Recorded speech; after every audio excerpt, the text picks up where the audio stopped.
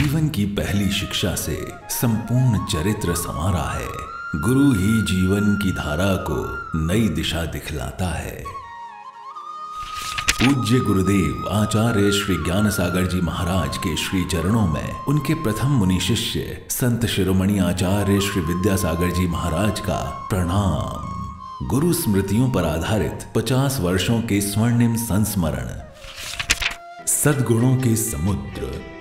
वे आयुर्वेद के ज्ञाता थे। वात, पित्त व कफ की जानकारी वह रखते थे। उनके पास दूसरे के आताप हरने की क्षमता थी। समता ही गुरुदेव का अपना बहुत बड़ा वैभव था।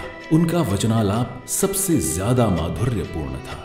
उनका ज्ञान भले ही पांडित्यपूर्ण था, फिर भी वे सदैव सरल एवं स्पष्ट बात करते थे। उन्हें देखकर कभी ऐसा नहीं लगा कि वे हिचकिचाते हुए बात कर रहे हों। उनमें कोई झुंझलाहट नहीं थी। किसी भी प्रकार का खड़पन उनके अंदर नहीं था। कषाय उनके पास आने में घबराती थी। वे अत्यंत निर्भीक थे।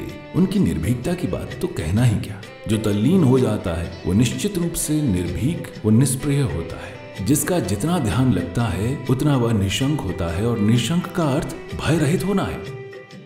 वैरागी दृष्टि से देखा जाए तो निर्भीक होना बहुत अच्छा माना जाता है। वे हमेशा हमेशा आचार्य कुंद कुंद स्वामी की वाणी में बोला करते आध्यात्मिक दृष्टि में जो लीन हो जाता है विलीन हो जाता है। वह वस्तुतः स्वपर के लिए वरदान सिद्ध होता है और निश्चित रूप से अपनी आत्मा को उन्नत बना सकता है।